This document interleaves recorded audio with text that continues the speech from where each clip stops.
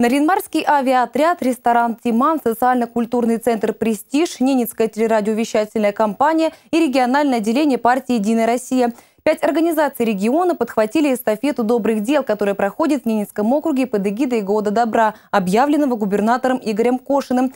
Символичная передача эстафеты добрых дел началась еще в январе в арт-мастерской Натальи Поликарповой. 28 картин, нарисованных участниками мастерской, были подарены учреждениям здравоохранения и теперь украшают в том числе стационарное отделение детской окружной больницы. Следующим творить добро вызвался Ненецкий краеведческий музей. Сегодня учреждение культуры передает эстафету другим организациям региона, и ее уже не остановить. Прямо перед нами улица Сметовича, чуть левее площадь Ленина, памятник Владимиру Ильичу Ленину.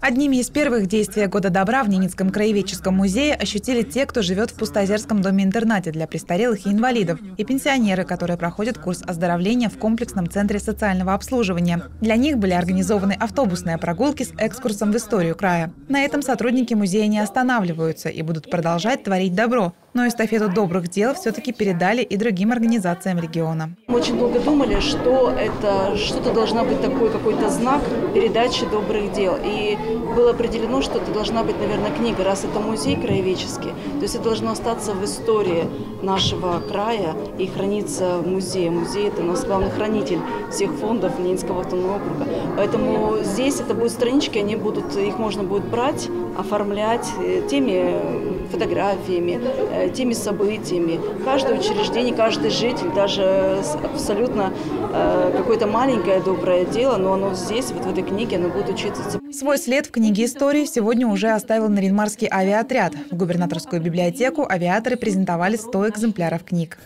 Эта книга об истории нашего предприятия, а ни много ни мало 70-летней истории нашего предприятия. Я в душе надеюсь, что молодые люди прочитают эту книгу, заразятся по-хорошему, заболеют авиацией и придут к нам на смену.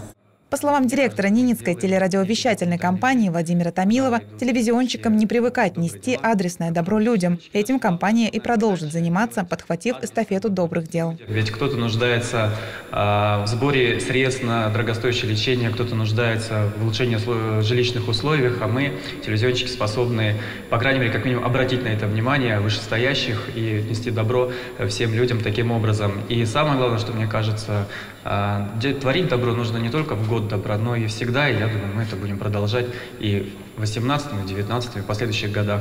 Результатом Года добра в НАО станет не только книга, но и документальный фильм, отметил директор телерадиовещательной компании. Традиция называть каждый Новый год принадлежит главе региона. Тематику 2017 объявили сами жители.